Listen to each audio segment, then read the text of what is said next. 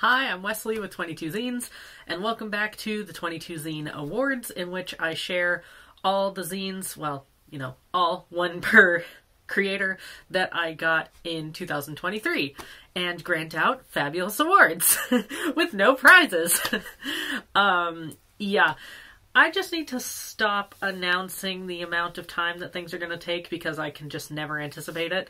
It is butt ass cold out here officially. In this house, it is butt ass cold without a space heater, and the space yard I have is very loud and noisy, and so does not make for good video. So I have decided that enough is enough. I am just going to come on and do this uh, in more appropriate attire than my beloved paisley tie. So my apologies for the lack of formality in this one, but these zines are no less amazing and deserving of accolade than the previous zines. These zines are all zines that I received in a trade with somebody.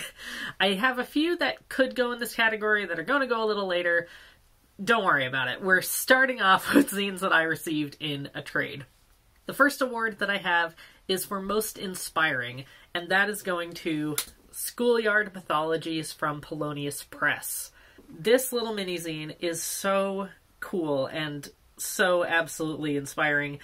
First off, the collage in here is so great. It's really colorful and intentionally layered, and it just manages to feel so full despite being such a little mini zine. like it, it, everything feels like it has such a good place, and the the sense of color throughout is just really great and makes it such a pleasure to flip through.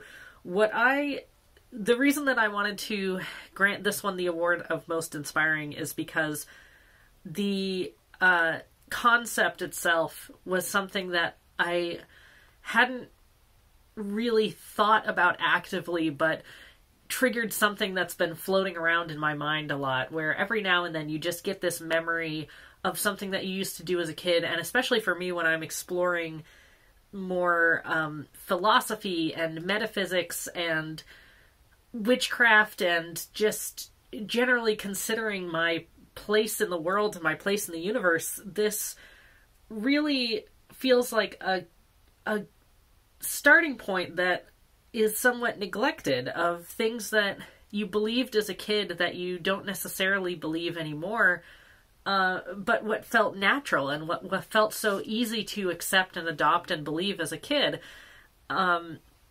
these mythologies and these folk tales and these beliefs that we have and we carry on in such a natural but casual way just through our interactions with other children and through uh, you know the the medium of schoolyard rhymes schoolyard games or just other beliefs. And so these are all somewhat witchy or mythical beliefs that the author held.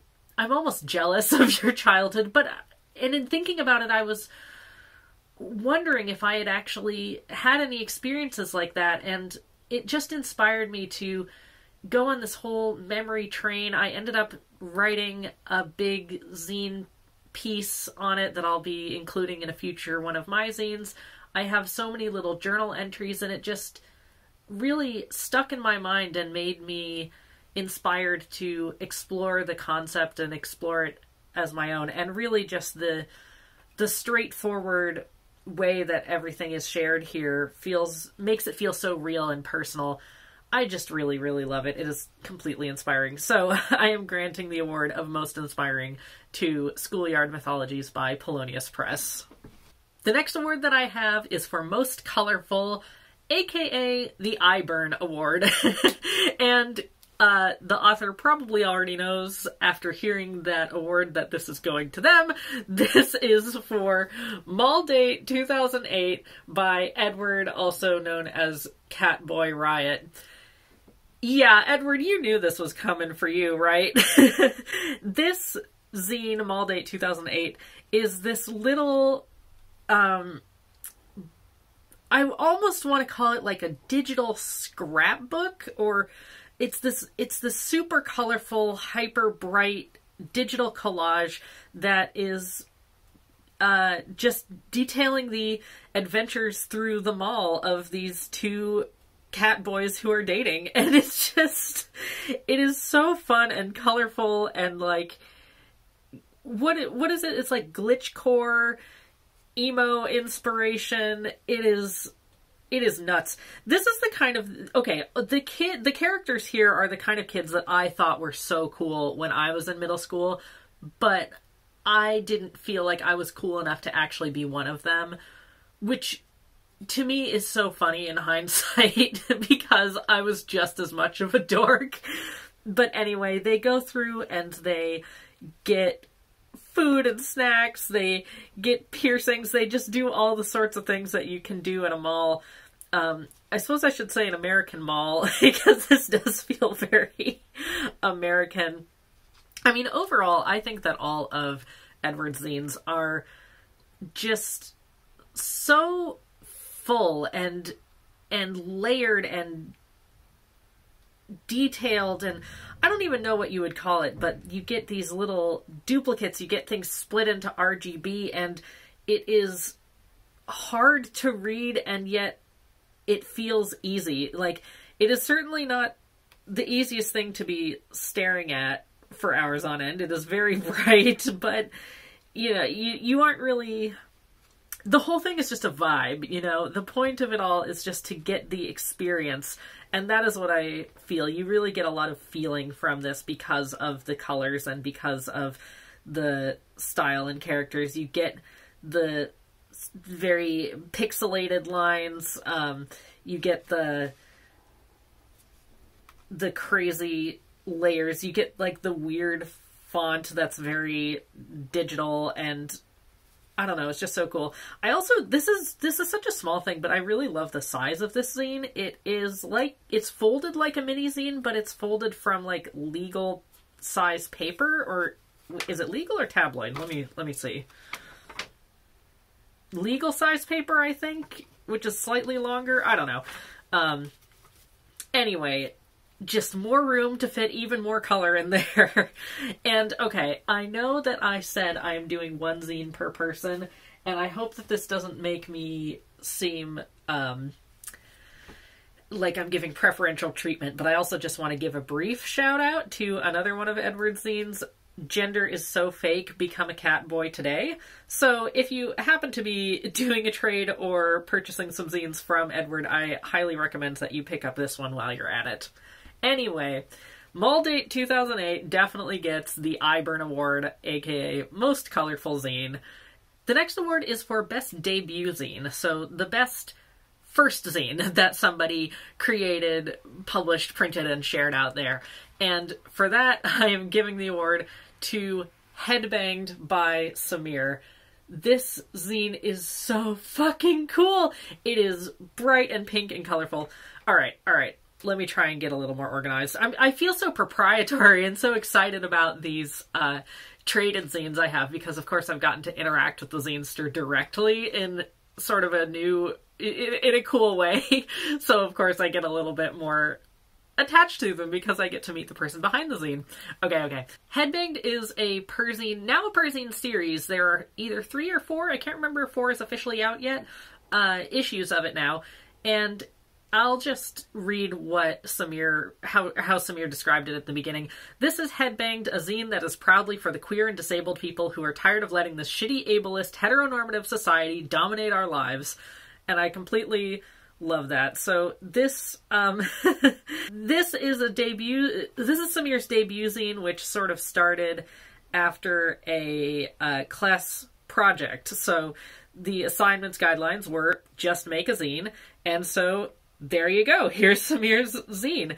I really appreciate how the assignment for this particular zine seemed to be so flexible that it was just make whatever you want, say whatever you want, and it feels very authentic and real and saying what you want to say. Because I know that in many cases, assignments, like zine, zine making assignments, are not exactly the best way to encourage people to say what they actually feel. I mean, the academ- academia context like that is not always the most comfortable, but I I think that I'm I'm very glad in this case that Samir was able to be encouraged and motivated through this class assignment to create the Headbang series because I think it is so great. This whole zine is a rebellion and reclamation.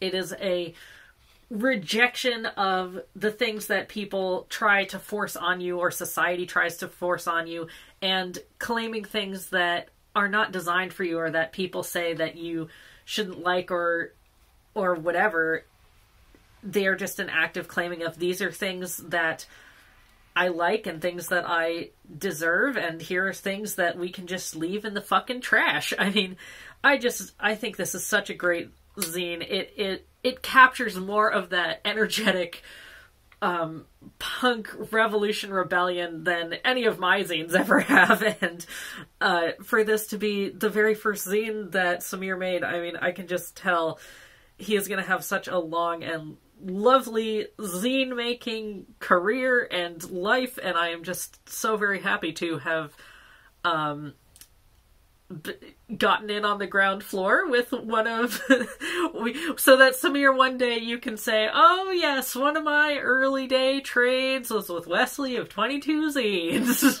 if you even remember me at that point when you're a big famous zinester. Anyway, all right. Headbanged I think definitely deserves the title of best debut zine. The next award is for best reclamation and that award goes to Divinely Cursed by Steel Transplants.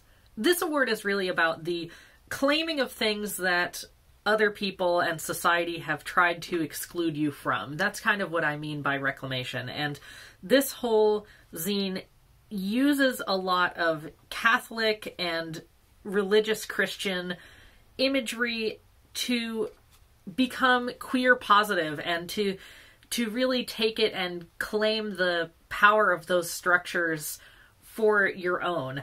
It's it is a poetry collage art zine, so it's not really like a religious argument or anything like that. It really is about claiming transness and claiming queerness as something that is worthy of worship and that um, placing gender nonconformity into history and asserting that um, just as much as anybody else, and perhaps even more, queer people are divine. And this whole zine really reminds me of this quote that I can't remember the author of this quote. I'll put it up on the screen, but it goes God made me trans for the same reason that he made wheat but not bread, so that we might share in the act of creation.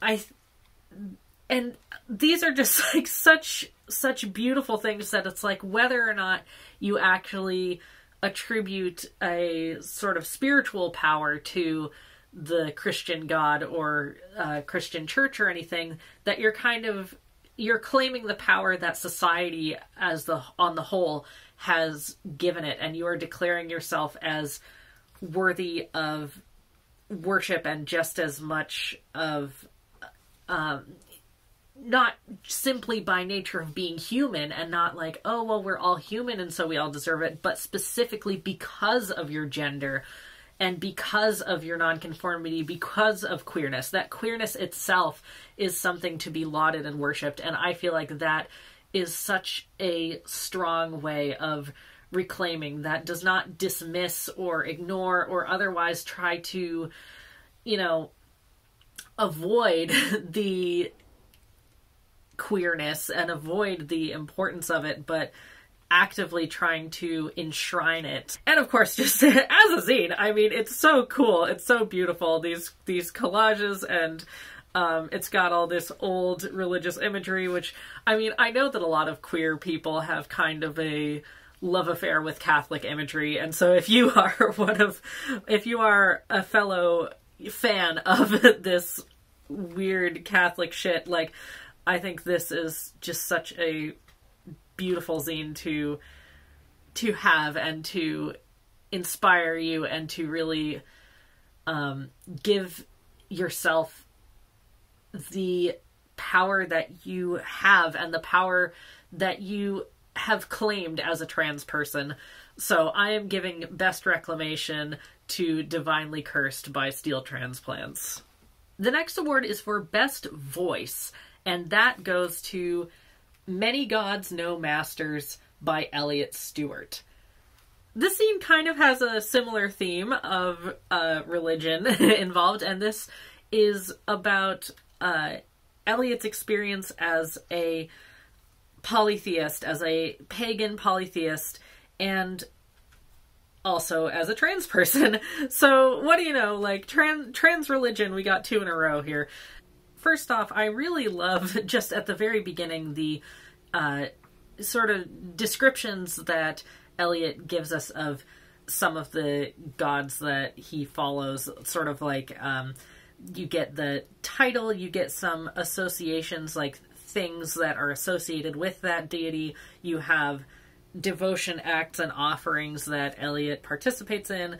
Uh, if they have holiday and they're the god's family members, and then songs that Elliott associates with them, and I really love that. And then you get a brief description of how Elliott first started um, discovering, learning more about interacting with that god, and it's just it. It's really fun. You get these little bits of personal history that are throughout about different experiences doing like a potluck at a coven and first seeing them and seeing some of their imagery online and on Tumblr and I just I th- I I totally relate to that and generally just at what point Elliott really took them seriously. I don't know how else to put that, but really started to develop that um, connection, I guess, with particular deities, um, which I just I really like that. And I, I guess that's a good enough transition just to talk about the the best voice is really about the writing style overall and the feeling and words and voice that carries through into the writing and everything that Elliott writes, I just have to say, it feels like having a conversation. The name of Elliott's uh, imprint, I guess, is uh, Porch Beers Press, and that is such a great word because it really does feel like sitting down and having a beer with this really cool, witchy trans dude on on a porch. like it, it feels super great because it's it's this combination of memories and um, things that he's been reading or you know different instances of life different musings and all that sort of thing but it doesn't feel pretentious. And i think sometimes when you get memoir it can feel pretentious. I mean I don't know that I've really found a zine that I find pretentious. I don't know if zines can be really that pretentious, but you know, sometimes when you're reading memoirs and you're or you're reading bios that authors write about themselves, it's just like, okay, oh my god, get on with it. Or you feel like they're trying too hard to be relatable, and this just is. This really does feel like this is just who Elliott is, and these are things that have come up, and you know, it's it's casual, but it's not othering. It's casual, but it's not distant. It feels really personal and real, but also not overwhelming. You just get these little, you know, lines and that are like, here's one that I'm finding. I saw it as a bit of a hitchhiker's guide situation, with us going, ah, oh, fuck, this again, until we finally learned whatever lesson needed to be pounded into us. That just, I just really love the the overall voice to this, and it really does feel like there are instances where Elliott uses the word you and just talks directly to you. Like, if you're one for world travel, there is a fantastic sculpture of Manannán by John Sutton in Londonderry, Northern Ireland. He was stolen once, the thief leaving behind a cross with a painted Bible verse. The statue was found about a month later, not far from his home but badly damaged. And so it's just these little things of like, sharing some fun information with you, sharing some fun instances and fun recommendations and being like, "Oh yeah, you should check this out." It it I the reason why I feel like this is so great and so important and so powerful and why I love really all of Elliott's zines is because I think it really captures that sense of connection that I think so many people are looking for when they are reading zines, that personal feeling that makes you really want to become friends with somebody and see the zine as an extension of the self in a very real and honest way. So I am happy to award Best Voice to Many Gods, No Masters by Elliott Stewart, and I can say this could just as easily go to any of Elliott's other zines, so definitely check them out. Next up, we have a zine that I am excited about. This is Most Educational, and that goes to It's Good to Be Curious by Winifred Kehl. This zine is a collection of comics and images that are uh, giving you information about the natural world and uh, little tidbits of biology, of fossils, history, and uh, geology and ecology. I think this is really cool because it doesn't feel too simple and it also doesn't feel too complicated. I feel like a lot of times there are instances where you want to learn fun facts about something and it's either something that feels too basic. I mean, you know, you never know what someone's already going to know or not, but it's one of those things where if you learn something that, you know, it says bats use echolocation.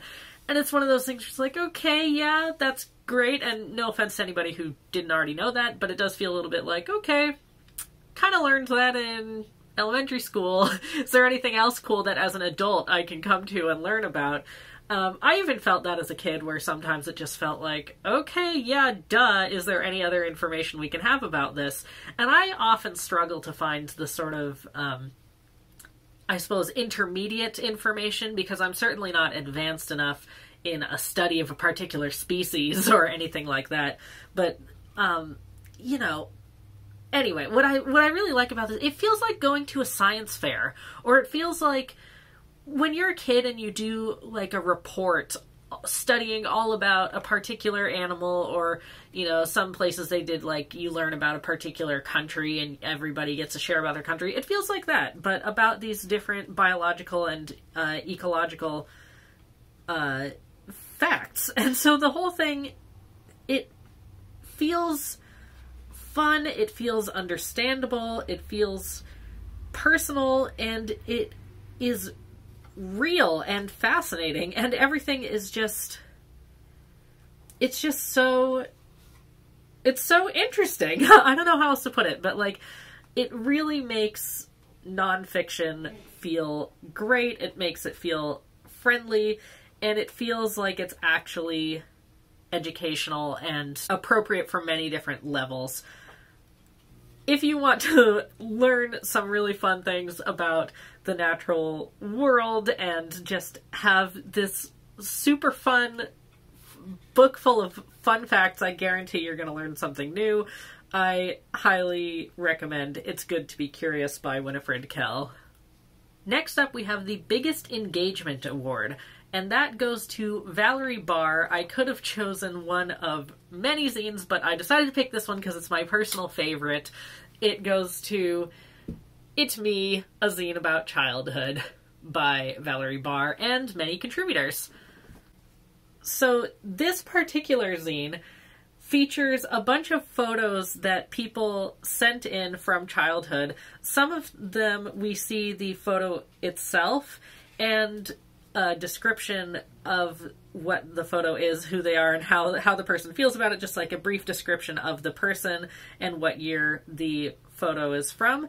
And in some of them, we see drawings that Valerie did of photos that were sent in. And these drawings are so cute, and especially being able to see it next to other childhood photos, I feel like it definitely captures the the spirit of childhood so well. I really love the faces. They look they look real and dorky and childlike. I mean, drawing kids is so hard, seriously.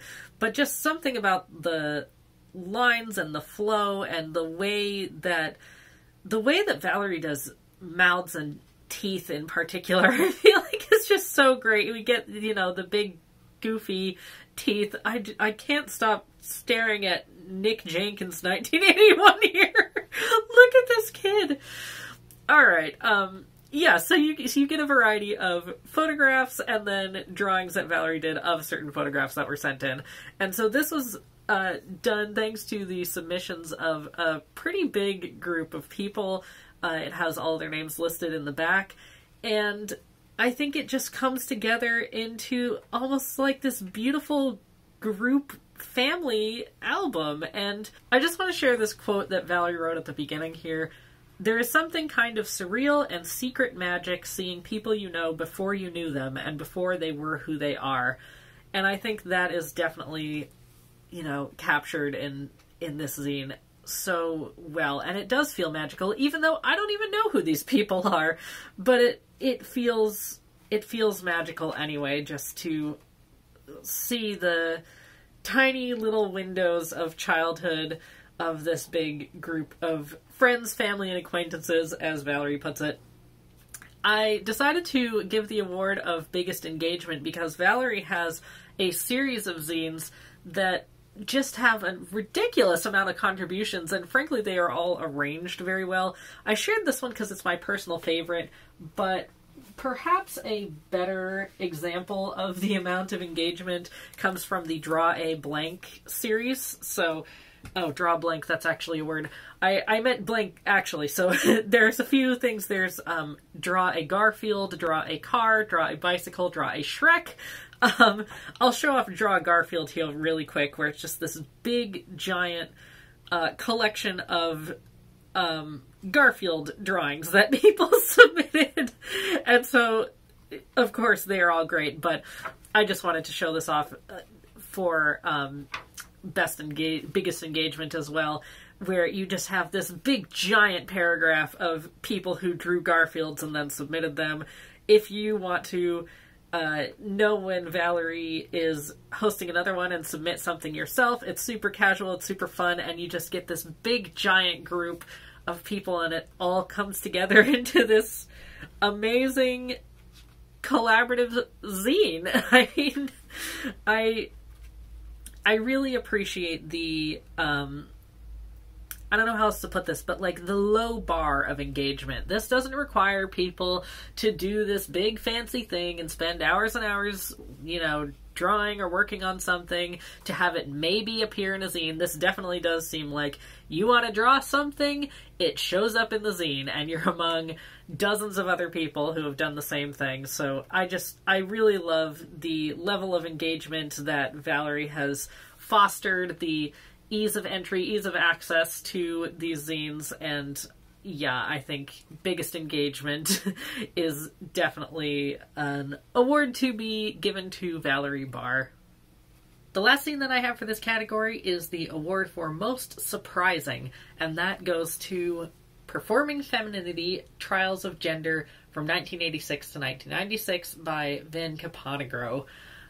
This zine I have granted the award of most surprising because Vin Caponigro does a lot of little witchy zines, and I had purchased a couple of them before. I don't mean to dismiss them as little witchy zines. They are great witchy zines, but, you know, I think that I had kind of gotten used to that style. I had gotten used to the more um, nonfiction zines, I suppose. And so when we did our trade, I was fully expecting to get some of those from uh, Snakehair, which is the uh, publishing press that Vin has created. And so this one was absolutely a surprise and a very welcome one. This zine is a perzine that features a bunch of photographs of Vin through the years, um, both as a, as a child and teenager, basically um, growing up as how they describe themselves as a tomboy or as not feeling comfortable calling themselves a woman. And I really. It was such a shock just opening up and seeing these photos all arranged chronologically because it feels like these so easily could have been me. I have definitely had this similar experience of um, being considered very masculine for a girl and um, the sort of balance between accepting girlhood and finding empowerment in girlhood and womanhood while also uh, accepting that it is not entirely you, that it is not entirely your body and it is not how you want to be perceived. And all of this is done through just this series of photographs and a very brief um, piece of writing in the back. And I just. I think that this actually just quickly became one of my very favorite zines to look through to recognize how we can still we can to accept who we were as trans people in the past and to to come to terms with the fact that society maybe just wasn't ready for us or that we didn't fully understand ourselves or other people didn't allow us to understand ourselves or be perceived in the way that we wish to be perceived. I guess that's about what I have to say on this. I I highly recommend it, and um, if you're also in the mood for some witchy zines, definitely grab those too. But this one in particular was just such an amazing surprise, and I was so happy to receive it in a trade. So I am happy to grant most surprising to performing femininity. Like I said, there are a few other zines that probably could have gone in this category. I mean, like I said in the very first video, I did not do a very good job of keeping track of everything, so honestly, almost certainly there were some trades that are going to be accidentally left out of all the videos. Uh, anyway, we'll we'll get to that later. if we get to the end of the series and you know that you sent me a zine or we traded or I got a zine from you in 2023 and it does not appear in this series, then let me know and I will pull it out of my zine collection and show it off. But anyway, we've still got a few videos to go, so I will see you soon. Bye.